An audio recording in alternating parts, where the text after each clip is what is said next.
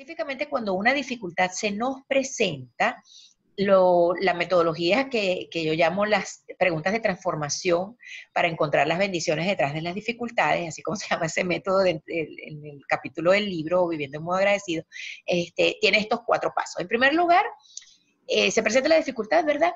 Identifica algo en tu vida por lo cual puedas agradecer. Si es posible,